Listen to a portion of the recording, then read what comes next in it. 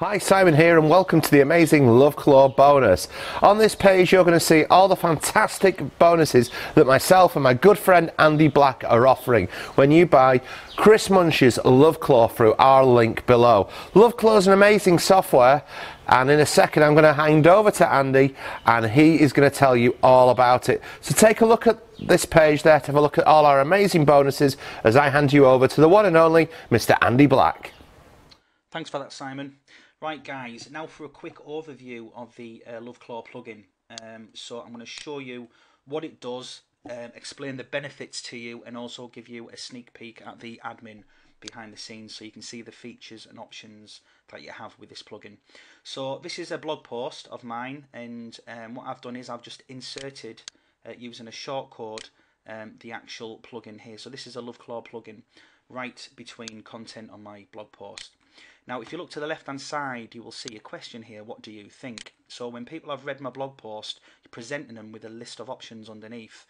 Um, and this question here is a custom question, so I can put anything that I want here, and if you have a plugin, you can do the same too. But I've used what do you think because people love to respond to uh, questions, especially if it's as simple as a, a click of a mouse. Okay, so what do you think? Um, now, the beauty of this plugin is it's basically like the Facebook um, like button, share button. Um, but people click the, the like button if they really like a, a post and if they want to support you or your blog um, and they like the content that you've shared. Okay, what this plugin does is um, it allows you to add um, a number of buttons here. Okay, and each of these buttons will do the same thing. Essentially, it will um, if someone clicks it, it will they will be sharing it on Facebook. So it doesn't matter what button they click, they're going to be sharing your content. Now, during tests, this plugin has been proven to um, generate three and a half times more likes and more shares than the Facebook like button. So you're talking a massive, massive increase by using the LoveClaw plugin instead of a standard traditional Facebook like button. Okay. Now the good thing is, is all of these are customizable. Um, the standard default settings is I love it, I hate it, interesting, shocking, I don't care.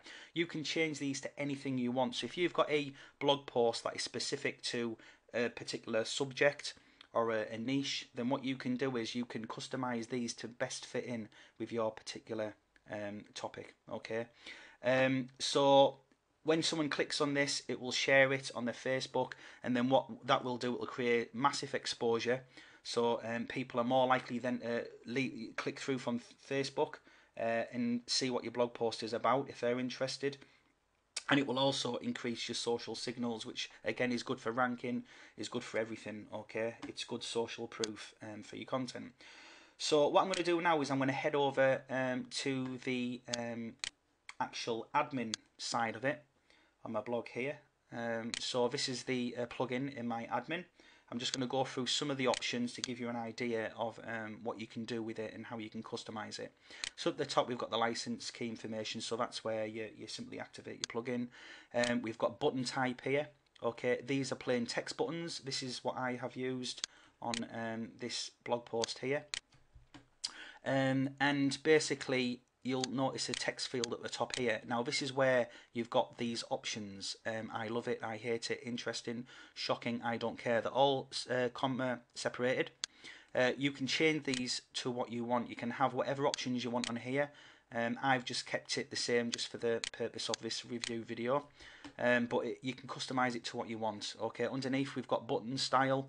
Um, you can change various different colours. Um, if you've got a green theme and you want to um, colour code it to your theme, you can use one of these colours here.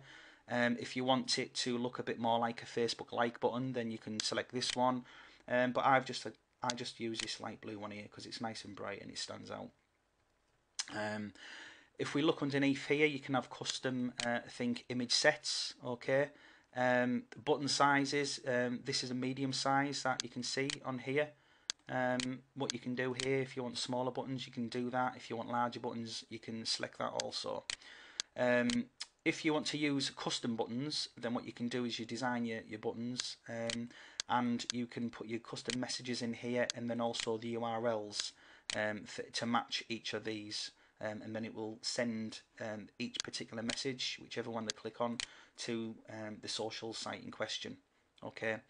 show message count. Um, I've only just added this a few minutes ago, um, hence why. And this is a an older blog post that I sent that I created a, a week or two ago.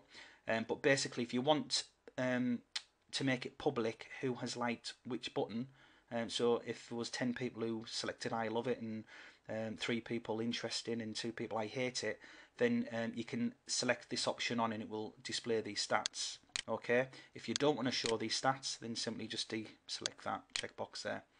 Underneath show most popular message. Um, again if uh, the majority of people have loved your post um, or find it interesting uh, then you can uh, choose to show this here and what it'll do is uh, it'll say something like our readers say I love it. Our readers say interesting. Again all you do is select the option if you want the option on okay?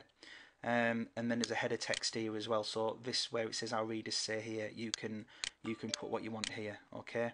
Um, again what I was talking about here um, which is the text before the buttons I've used what do you think um, because I think that encourages uh, users and readers on your site to actually take action and, and select an option. You're basically asking them to, to uh, click a button, uh, which is going to share your content on their Facebook. Um, you can put what you want on here you can see this is the option here. So this leads in with an arrow and points to the buttons. You can put Facebook it or um, um, what's your opinion, what's your take. You can you can put what you want there. Um, if we go down here, you can exclude specific pages and posts. So if there's a, a post or a page that you don't want to have this plugin um, on, then um, you can um, enter the details there and it will prevent that from activating and being active on that particular page or post. Um, auto insert here. You can choose to have it automatically insert up the top of your post or up the bottom. Um, but what I've done here is I just selected this option here, which means I do it manually. All I do is I take that shortcode and copy and paste that basically within the content where I want the plugin to appear. So that's just a quick overview of uh, the plugin. So this plugin goes live again on the uh, 9th, um, which is tomorrow. Uh, depends when you're watching this video, but it's uh, the 9th, uh, which is a Tuesday, and it goes live at 11 a.m. Eastern Time. If you're one on, if you're a subscriber of myself or Simon, you'll receive an email just as it goes live. So keep an eye out for your email. If you've found this bonus page um, by someone else's Facebook wall or by googling it, then simply just come back 11 a.m. Eastern Time, and you will see the uh, link on this page where you will be able to get all of the bonuses um, that are listed on this page as well as a Love Claw plugin. So hope to see you then. Thanks for watching.